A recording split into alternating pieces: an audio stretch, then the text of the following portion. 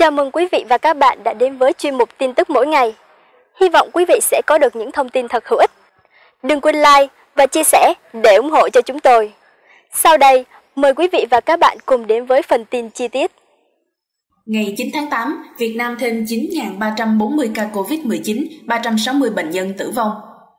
Trong ngày 9 tháng 8, cả nước ghi nhận 9.340 ca nhiễm mới, trong đó thành phố Hồ Chí Minh 3.991, Bình Dương 2.887, Hà Nội 78. Thông tin chi tiết các ca nhiễm mới, tính từ 6 giờ đến 18 giờ 30 ngày 9 tháng 8, trên hệ thống quốc gia quản lý ca bệnh COVID-19 ghi nhận 4.185 ca nhiễm mới, trong đó 2 ca nhập cảnh và 4.183 ca ghi nhận trong nước. Tại thành phố Hồ Chí Minh 1.642, Bình Dương 1.162, Đồng Nai 355, Tiền Giang 251, Tây Ninh 133. Hà Nội 74, Cần Thơ 71, Bà Rịa Vũng Tàu 65, Đà Nẵng 60, Đồng Tháp 59, Phú Yên 53, Bình Định 45, Bình Thuận 34, Khánh Hòa 33, Lâm Đồng 30, Quảng Ngãi 18, Trà Vinh 15, Hà Tĩnh 15, Nghệ An 12, Quảng Nam 11, Ninh Bình 10, Thừa Thiên Huế 10, Hải Dương 7, Bình Phước 5, Quảng Bình 3, Đắk Lắk 3, Hậu Giang 3, Thái Bình 2, Kiên Giang 1, Bắc Giang 1, trong đó có 770 ca trong cộng đồng. Trong ngày 9 tháng 8 ghi nhận 9.340 ca nhiễm mới, trong đó 17 ca nhập cảnh và 9.323 ca ghi nhận trong nước.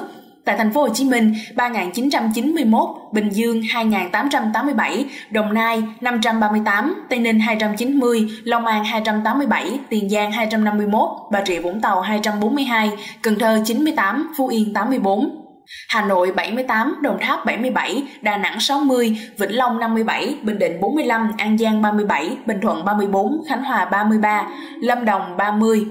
Thừa Thiên Huế 27, Kiên Giang 20, Quảng Ngãi 18, Hậu Giang 18, Trà Vinh 15, Hà Tĩnh 15, Gia Lai 14, Đắk Nông 14, Nghệ An 12, Hải Dương 12, Quảng Nam 11, Ninh Bình 10, Bình Phước 5, Quảng Bình 3, Đắk Lắk 3, Thái Bình 2, Sơn La 1, Lào Cai 1, Cà Mau 1, Bạc Liêu 1, Bắc Giang 1, trong đó có 1.556 ca trong cộng đồng. Tình hình dịch COVID-19 tại Việt Nam Tính đến chiều ngày 9 tháng 8, Việt Nam có 219.745 ca nhiễm, trong đó có 2.362 ca nhập cảnh và 217.383 ca nhiễm trong nước.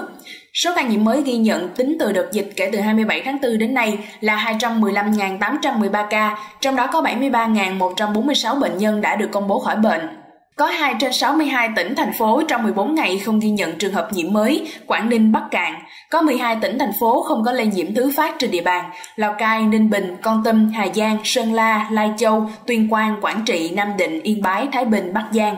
Tình hình điều trị, 4.423 bệnh nhân được công bố khỏi bệnh trong ngày 9 tháng 8. Tổng số ca điều trị khỏi 75.920, số bệnh nhân nặng đang điều trị ICU 509, số bệnh nhân nguy kịch đang điều trị ECMO 23. Chiều ngày 9 tháng 8, Tiểu ban điều trị Ban chỉ đạo quốc gia phòng chống COVID-19 thông tin trên hệ thống thông tin thu dung điều trị bệnh nhân COVID-19 ghi nhận 360 ca tử vong tại thành phố Hồ Chí Minh 269, Tiền Giang 39, Đồng Nai 38, Long An 3, thành phố Cần Thơ 2, Bình Định 2, Đồng Tháp 2, Vĩnh Long 2, thành phố Hà Nội 1, Khánh Hòa 1, Tây Ninh 1.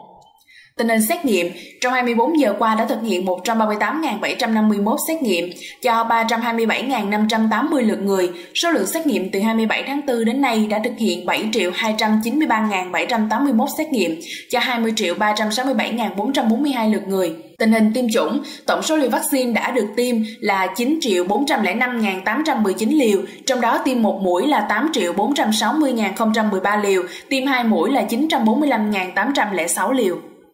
Tối ngày 9 tháng 8, thêm 4.423 bệnh nhân khỏi bệnh đã tiêm hơn 9,4 triệu liều vaccine.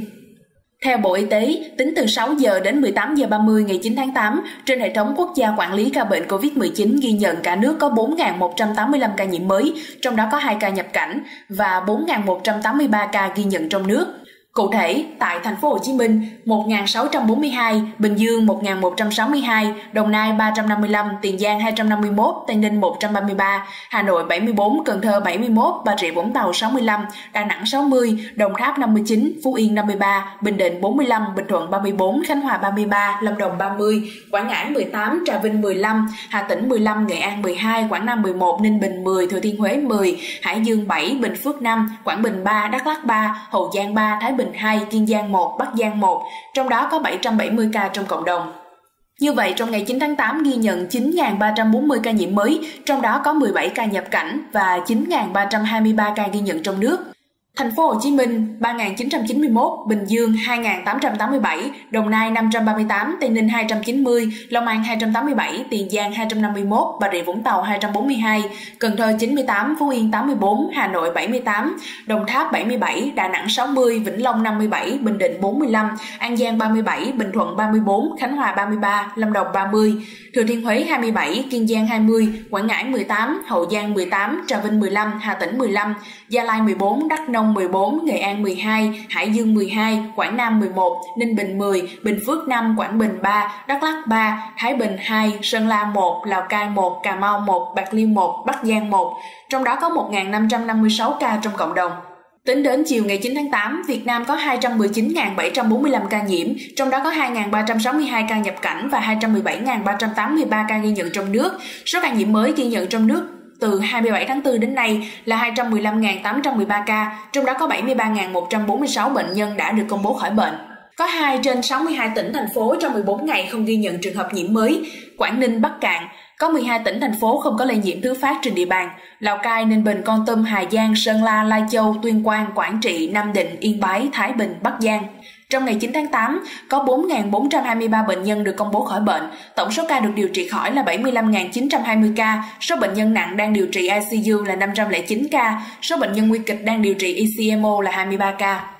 Chiều cùng ngày, Tiểu ban điều trị Ban chỉ đạo quốc gia phòng dịch COVID-19 thông báo trên hệ thống thông tin thu dung điều trị bệnh nhân COVID-19 ghi nhận 360 ca tử vong, trong đó tại thành phố Hồ Chí Minh 269, Tiền Giang 39, Đồng Nai 38, Long An 3, thành phố Cần Thơ 2, Bình Định 2, Đồng Tháp 2, Vĩnh Long 2, thành phố Hà Nội 1, Khánh Hòa 1, Tây Ninh 1.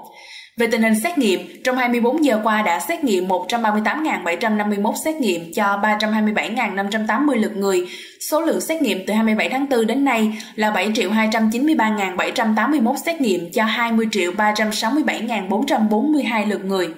Về tình hình tiêm chủng, tổng số liều vaccine đã tiêm là 9 405.819 liều, trong đó tiêm mũi 1 là 8 406 trong đó tiêm mũi 1 là 8 460.013 liều, tiêm mũi 2 là 945.806 liều. Sáng ngày 9 tháng 8, Báo cáo trong buổi họp giao ban trực tuyến của Bộ phận thường trực đặc biệt của Bộ Y tế tại thành phố Hồ Chí Minh, Sở Y tế thành phố Hồ Chí Minh cùng một số bệnh viện tuyến trung ương trên địa bàn thành phố Hồ Chí Minh, bệnh viện hồi sức Covid-19 thành phố Hồ Chí Minh đã sẵn sàng triển khai giai đoạn 2 với 700 giường bệnh để kịp thời tiếp nhận, điều trị cho các trường hợp bệnh nhân nặng, nguy kịch.